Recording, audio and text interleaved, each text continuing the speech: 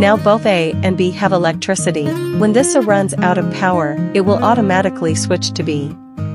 When this A has power, it automatically switches to A. A is priority.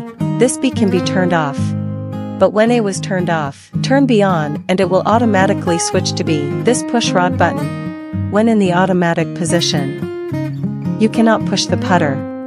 It will short circuit immediately. If you want to push the putter, you need to put it in manual first.